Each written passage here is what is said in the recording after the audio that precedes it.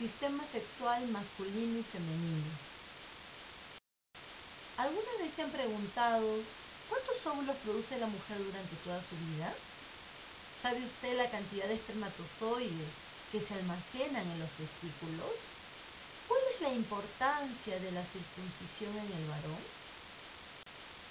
El sistema sexual femenino está conformado por una serie de órganos, órganos que cumplen funciones muy específicas, como la trompa de falopio, la vejiga, el punto G, el clítoris, eh, los labios mayores, los labios menores, los ovarios, el útero, el cuello del útero, la vagina, incluso la glándula de Bartolini. Vamos a ver el funcionamiento de cada uno de estos órganos. En el sistema sexual femenino vamos a encontrar una serie de estructuras en los genitales externos femeninos. Tenemos la vulva que va a englobar estructuras como labios mayores, labios menores y las aberturas urinaria y vaginal. Obviamente que algunas de estas características, forma, tamaño color, va a diferir de una persona a otra. Uno de estos órganos es el clítoris, que tiene la misma cantidad de terminales nerviosas que la cabeza del pene y su único propósito es la excitación. Vamos a ver también que en la vagina hay muy pocas terminales nerviosas en comparación con el clítoris. Observamos también que dentro de las estructuras de los genitales internos femeninos tenemos al útero, la trompa de falopio, los ovarios, el cuello uterino y el conducto vaginal. Em, cada uno también cumple una función importante, sobre todo muy relacionados a la reproducción.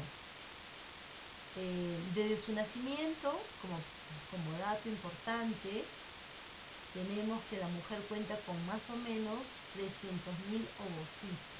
Y estos eh, han sido desarrollados desde la etapa fetal, ¿no? Solamente cerca de 300 o 400 ovocitos van a madurar. Estos, ovocitos van a ser los responsables de la producción de las hormonas sexuales femeninas, tanto de los estrógenos como de la progesterona.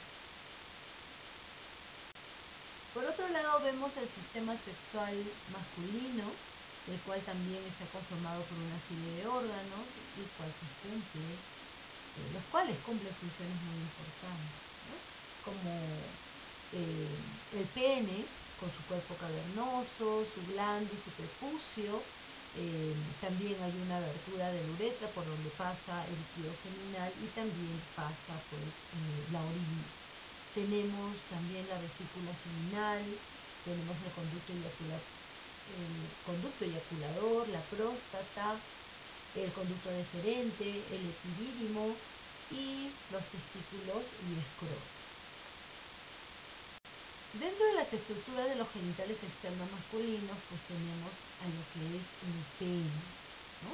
El pene consta de nervios, vasos sanguíneos, tejido fibroso y tres cilindros paralelos de tejidos esponjosos. Cuenta asimismo con una red de músculos en su base que ayudan a la expulsión tanto de semen como de la orina a través del uretra.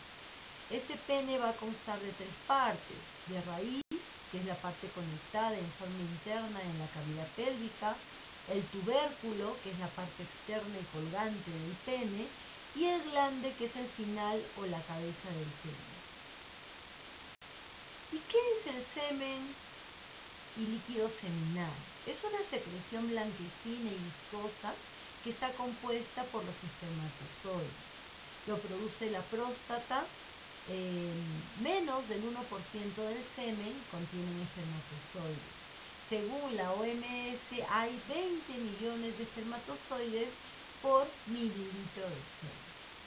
Tenemos también lo que es el escroto, que es un saco cutáneo suave el cual es la cavidad externa de la pared abdominal en el área de la ingle que está directamente por debajo del pene.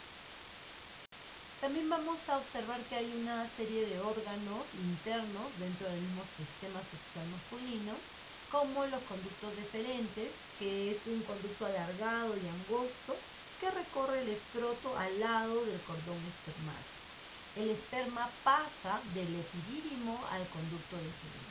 Es aquí donde se realiza la vasectomía. También tenemos las vesículas seminales, que son glándulas pequeñas adyacentes a las terminales del conducto deferente. Estas secretan un líquido alcalino que es abundante y el cual constituye la mayor parte del líquido, seminal. Hay también eh, los conductos eyaculatorios, que son dos conductos pequeños ubicados dentro de la próstata y que permiten el paso del líquido seminal hacia su exterior. Aquí se va a discutir sobre la masturbación femenina y masculina y los tabúes que existen respecto a ambas prácticas. Bueno, y como conclusión podríamos decir que el sistema reproductor femenino cumple dos funciones importantes. Recibir las células sexuales masculinas, generando las condiciones para que una de ellas se una a la femenina y alojar el embrión y favorecer su desarrollo durante los nueve meses de gestación. Y también el sistema reproductor masculino tiene como principal labor la producción de las células sexuales o espermatozoides y su posterior transporte hasta la vagina de la mujer, desde donde se desplazarán hasta las trompas uterinas.